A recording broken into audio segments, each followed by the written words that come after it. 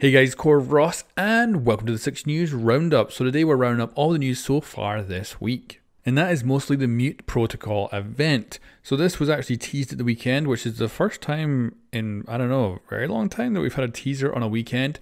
And I think it's also the first time they've actually teased an event before the actual release of it. So it got teased on Sunday and then it got teased on Monday with an actual trailer, which is really cool. And then it launched, of course, on Tuesday.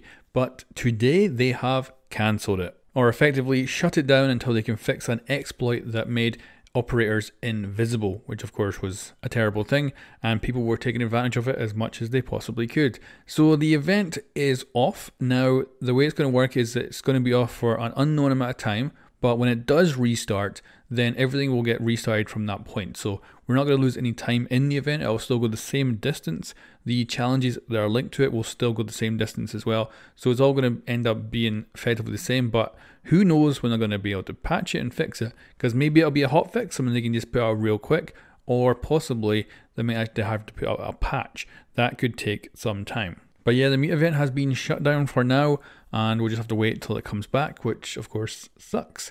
Now, I've been running in the background here some images which are all concept art released by Ubisoft of the event and it's very cool to look through them all. I kind of get more of a cyberpunk kind of feel from these concept arts than I do from the actual in-game stuff but it's great to see how much effort goes into these events and of course it must suck right now for the developers. They must be gutted that they've had to switch it off and uh, try and fix it so they can actually get it back up again. But that's pretty much all the news for this roundup today.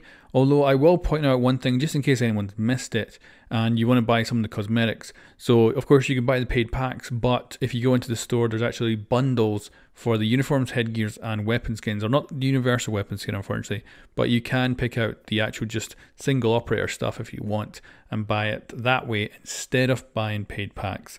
Also, let me know if you've bought packs this season, if you've bought uh, the actual bundles instead, or if you just bought the entire collection. Let me know kind of how, how many of you guys out there are actually paying money for a lot of this stuff. Because I'm always curious how much money these events, you know, must make. Because I assume they take about three months to make these events and actually get them out. And of course, the artwork and all that for the uniforms and everything must take quite a considerable amount of time. So it must be a you know it must be costly, but I feel like they probably make a massive profit every event, even though the events are temporary and disappear afterwards and never return.